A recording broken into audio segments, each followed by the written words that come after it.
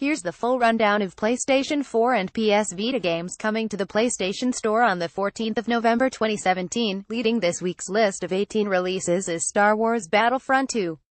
EA's sequel appears to be a genuine improvement on its predecessor, with a fascinating premise for its single-player campaign, and a wealth of multiplayer content that spans all three Star Wars eras elsewhere, and three years after its PC release, EA are also bringing The Sims 4 to console. It's joined by a cavalcade of iconic heroes and villains in LEGO Marvel Super Heroes 2, from Traveller's Tales.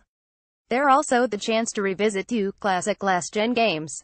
Skyrim receives another outing, but this time in VR, and Rockstar's LA Noire returns to the beat with a 4K remaster.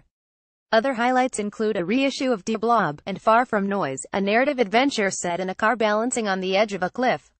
Here is the full PlayStation Store release lineup for next week. PlayStation Store releases the 14th of November 2017 PlayStation 4 Ashes Cricket 16 THA TV Drift Tricks Ben 10 Cat Quest A Blob 16 to Demon Gaze IITH Elder Scrolls V Skyrim VR 17 THFAR from Noise Knights of Valor 16 THL A nor LEGO Marvel Super Heroes 2 Outcast Second Contact Road Rage Schoolgirl Zombie Hunter 17 The Sims 4 17 Star Wars Battlefront 2 17 PlayStation Vita Demon Gaze Tokyo Tattoo Girls Vi 11 Halo PlayStation 3 This ISNT the console you're looking for. Also on thumbsticks.